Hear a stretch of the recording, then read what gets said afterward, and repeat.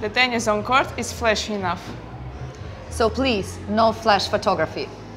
Your seat should always match your ticket. There's not a bad view in the house. Please no seat jumping. In tennis, silence is golden. Please make sure your phone is switched to silent or vibrate during play.